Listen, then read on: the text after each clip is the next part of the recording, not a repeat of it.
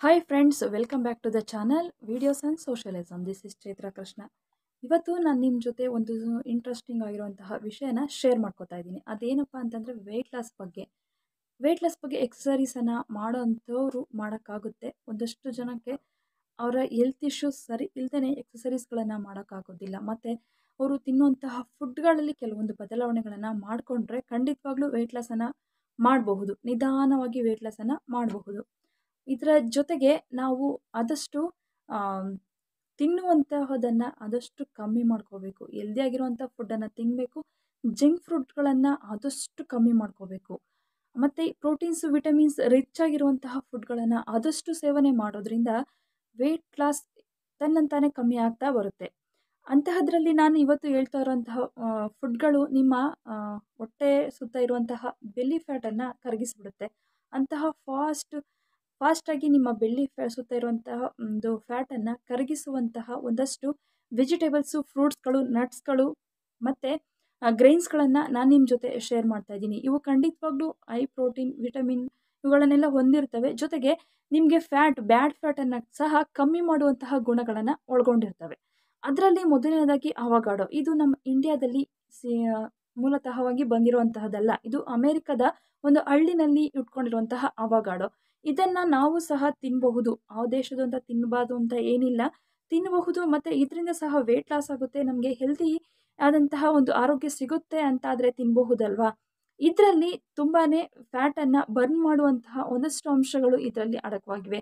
ಹಾಗಾಗಿ ಇದನ್ನು ತಿನ್ನೋದ್ರಿಂದ ನಾವು ಸಹ ವೆಯ್ಟ್ ಲಾಸನ್ನು ಮಾಡಬಹುದು ಒಂದು ಶೇಖರಣೆ ಆಗಿರುವಂತಹ ಫ್ಯಾಟು ಬ್ಯಾಡ್ ಕೊಲೆಸ್ಟ್ರಾಲ್ ಆಗಿ ನಮ್ಮ ಸೊಂಟದ ಸುತ್ತಲೂ ಶೇಖರಣೆ ಆಗುತ್ತೆ. ಈ ಒಂದು ಸ್ಥಿತಿಗೆ ಬೆಳ್ಳಿ ಫ್ಯಾಟ್ ನಮಗೆ ಸ್ಯಾಚುರೇಟರೇಟ್ ಅನ್ನೋ ಒಂದು ಅಂಶ ಇದೆ ಒಂದು ಫ್ಯಾಟ್ ಇದೆ. ಈ ಒಂದು ಫ್ಯಾಟು ನಮ್ಮ ಬ್ಲಡ್ನಲ್ಲಿ ಶುಗರ್ ಲೆವೆಲನ್ನು ಮೇಂಟೈನ್ ಮಾಡುತ್ತೆ. ಇದು ಒಂದು ಗುಡ್ ಕೊಲೆಸ್ಟ್ರಾಲನ್ನು ಒಳಗೊಂಡಿದೆ. ನೀವು ಬ್ಲಡ್ಡನ್ನು ಪ್ಯೂರಿಫೈ ಮಾಡೋದಕ್ಕೆ ಹೆಲ್ಪ್ ಮಾಡುತ್ತೆ ಶಕ್ತಿ ಕೊಡುತ್ತೆ ಜೊತೆಗೆ.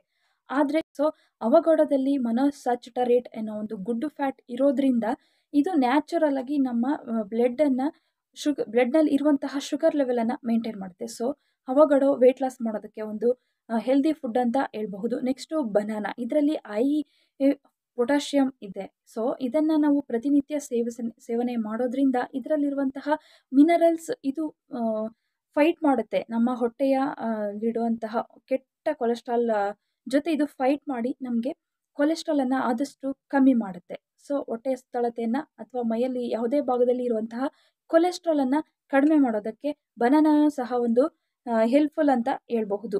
ನೆಕ್ಸ್ಟ್ ಬಂದರೆ ಮೊಸರು. ನಾವು ಪ್ರತಿನಿತ್ಯ ಮೊಸರನ್ನು ಸೇವನೆ ಮಾಡದೇ ಮಾಡ್ತೀವಿ.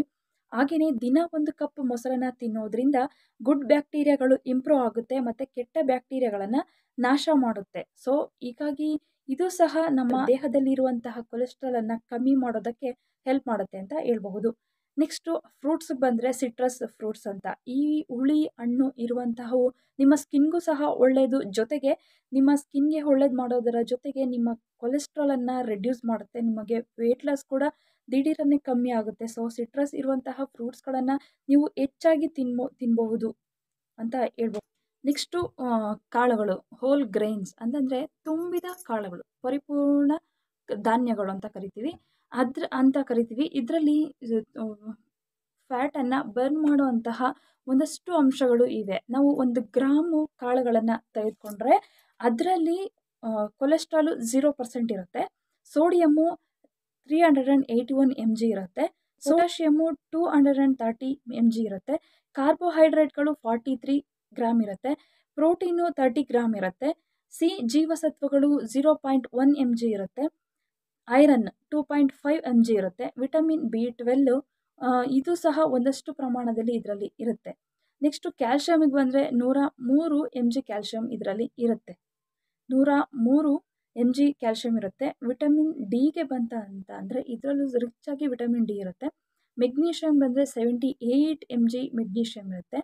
ಇದರಲ್ಲಿ ಪರ್ಯಾಯಪ್ತ ಕೊಬ್ಬಿನ ಆಮ್ಲಗಳು ಅಂದರೆ ಒಳ್ಳೆಯ ಆಮ್ಲಗಳು ಎಷ್ಟಿರುತ್ತೆ ಅಂತ ಅಂದರೆ ಝೀರೋ ಪಾಯಿಂಟ್ ನೈನ್ ಗ್ರಾಮ್ ಅಷ್ಟು ಒಳ್ಳೆಯ ಕೊಬ್ಬಿನ ಆಮ್ಲಗಳು ಈ ಒಂದು ಸಿರಿ ಧಾನ್ಯಗಳಲ್ಲಿ ಅಡಕವಾಗಿರುತ್ತೆ ಸೊ ಹೋಲು ದ್ವಿದಳ ಧಾನ್ಯಗಳು ಅಲ್ಲ ನಾನು ಹೇಳ್ತಿರೋದು. ಓಲ್ ತುಂಬಿದ ಧಾನ್ಯಗಳು ಸಿರಿಧಾನ್ಯಗಳು ಅಂತ ಏನು ಕರಿತೀವಿ?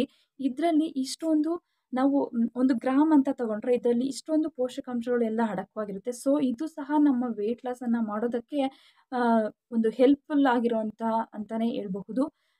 ನೆಕ್ಸ್ಟು ನಟ್ಸ್ಗೆ ಬರೋಣ.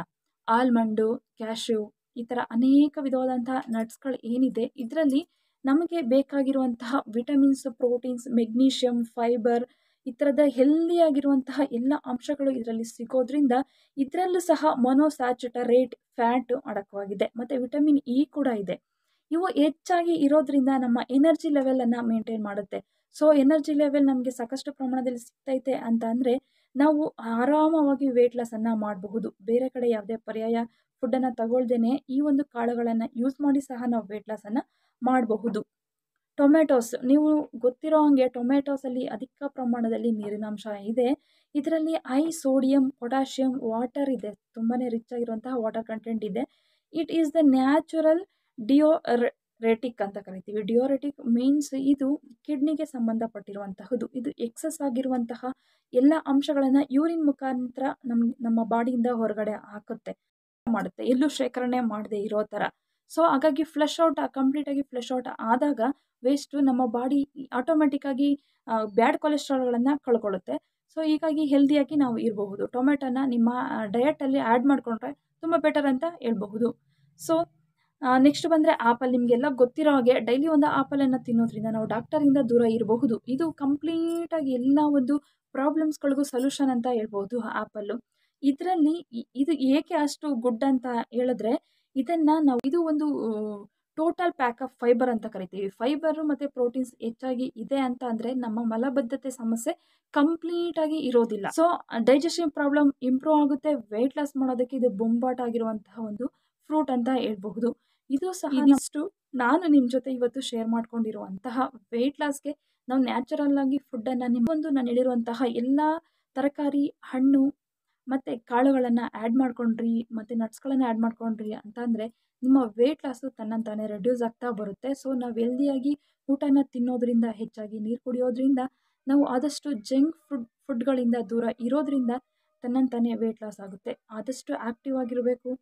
ಜೊತೆಗೆ ಸೋಂಬೇರಿತನ ಬಿಡಬೇಕು. ಇದಿಷ್ಟು ಮಾಡೋದ್ರಿಂದ ನಮ್ಮ ವೆಯ್ಟ್ ಲಾಸ್ ತನ್ನಂತಾನೇ ಕಮ್ಮಿ ಆಗುತ್ತೆ. ಈ ಒಂದು ವಿಡಿಯೋದಲ್ಲಿ ನಾನು ಹೇಳಿರುವಂತಹ ವಿಷಯಗಳು ಸರಿ ಅನಿಸಿದ್ರೆ ವಿಡಿಯೋನ ಲೈಕ್ ಮಾಡಿ, ಇದೇ ಥರದ ವಿಡಿಯೋಗಳಿಗೆ ಈ ಚಾನಲನ್ನು ಸಬ್ಸ್ಕ್ರೈಬ್ ಮಾಡ್ಕೊಳ್ಳಿ. Thank you for watching bye